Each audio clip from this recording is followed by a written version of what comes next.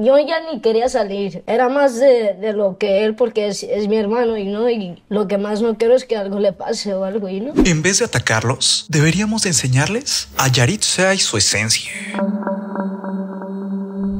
Son unos niños de 15 años. Yo viví por ese proceso también. Yo soy nacido en el estado de Washington, de donde son ellos. Tengo familia en Yakima, voy mucho. Entonces, entiendo perfectamente bien la cultura de donde vienen, porque yo vengo de lo mismo. Cuando empecé, también pochaba muchísimo y me confundía con las palabras. Una vez dije una cosa absurda y me arrepentí, pero es natural. En Estados Unidos, el inglés es lo primordial, lo que aprendes primero. No me los traten mal. Son chavos que están empezando a vivir en este mundo del espectáculo, de entrevistas y todo. No creo que las intenciones eran malas. Además, fueron honestos. No a todo el mundo le gusta la soda en una bolsita porque no tiene el mismo gas. Creo que los están atacando de más. Fueron sinceros, pero no supieron responder correctamente. Pero no pasa nada, son talentosos. En vez de atacarlos, deberíamos enseñarles, arroparlos como cultura, como mexicanos, y decirles, mira, se dice así. Son chavos este, que tienen 15, 16 años. Yo me identifico porque pues a mí también me pasaba lo mismo cuando iniciaba mi carrera. Yo dudo en lo absoluto que no quieran y no amen y aprecien su cultura. Todo esto ha dicho Peewee, el famoso cantante mexicoamericano, asegurando que él vivió lo mismo que vivió Yaritza y su esencia. De esta manera, Peewee salió a dar la cara y a defender a este grupo, diciendo cosas como: ¿Fueron honestos? No me los ataquen tanto. Son unos niños de 15 años. Yo viví por ese proceso también. Entonces, entiendo perfectamente bien la cultura de donde vienen, porque yo vengo de lo mismo. En el inicio, debes recordar que el español no me salía bien, pero con el tiempo vas agarrando experiencia, colmillo. Poco a poco te vas explicando un poco mejor, aprendiendo mejor las palabras. Creo que los están atacando de más. Fueron sinceros, pero no supieron responder correctamente. Pero no pasa nada, son talentosos. En vez de atacarlos, deberíamos enseñarles, arroparlos como cultura, como mexicanos, y decirles, mira, se dice así. Las palabras de Peewee han sido compartidas por millones de personas, pero ha habido debate. Para algunos, hay que cancelarlos por lo que dijeron, pero para otros, no era para tanto, y tal cual como dice Peewee, hay que apoyar a estos chicos. Y es que Yaritza y su esencia se metieron en el ojo del huracán tras declaraciones que no fueron bien recibidas. Sí me gusta, pero no me gusta cuando me levanto, porque se escuchan como los carros y las sirenas. No me gusta mucho la comida aquí. Allá en, allá en Washington, la neta, le dan un sazón que, que sí pica y sabe bueno.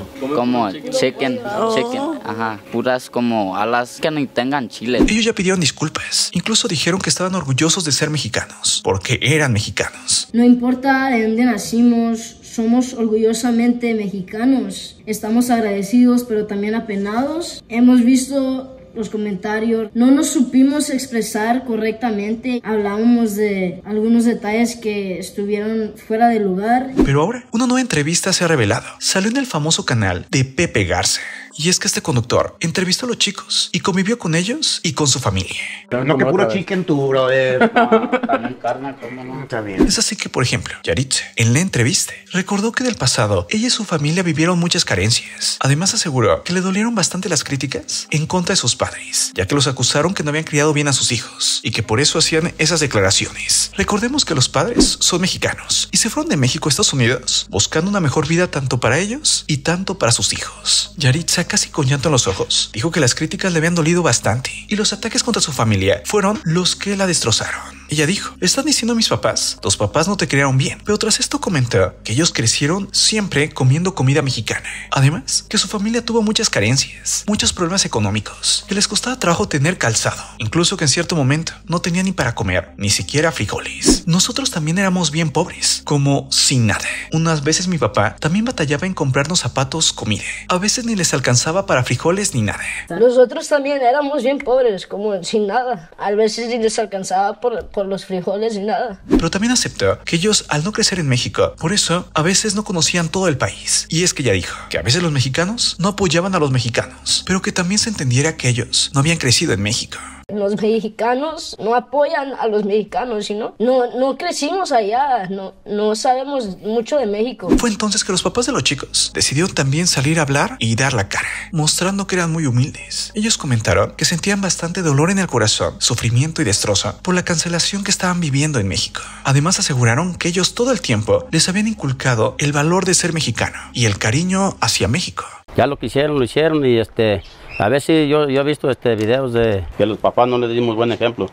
Todo el tiempo yo les he inculcado lo de México, las gastronomías que hay en México y todo. Por su parte, Mando, el hermano mayor del grupo, dijo que no estaba bien que alguien se burlara de la forma que hablas, porque se estaba haciendo el mejor intento. Y es que ellos no hablaban español. No está bien, ni es algo agradable que alguien te haga burla de cómo hablas porque está haciendo un intento. Es así que Yaritze retomó las palabras, diciendo lo duro que había sido ser criticada, pero que lo más duro eran los ataques hacia su familia y el miedo que tenía a que le hicieran algo a su hermano mayor, porque incluso los habían amenazado. Es por eso que ya ni siquiera quería salir a la calle, porque tenía miedo que le hicieran algo a su hermano. Yo ya ni quería salir, era más de, de lo que él, porque es, es, mi hermano y no, y lo que más no quiero es que algo le pase o algo y no. Pero tras todo lo anterior, la familia de Yaritze aseguró que siempre serán humildes y que siempre lucharán por sus sueños. Y agradecían todo el caño del público y que también la paciencia de la gente que entendía que ellos no hablaban español. Además, los chicos agradecieron a sus padres por todo lo que hicieron por ellos. Tras todo esto, dime, ¿tú qué piensas? Muchos creen que todo comenzó como una broma, como una burla. Esto por la forma de hablar de los chicos, pero luego se convirtió en un meme y después se salió de control y se hizo una brutal cancelación. ¿Realmente crees que los chicos merecían ser cancelados? O más bien, que se hizo broma tundirlos, cancelarlos, bromear sobre ellos y a partir de ahí la situación se complicó. Ahora dime, ¿tú qué piensas?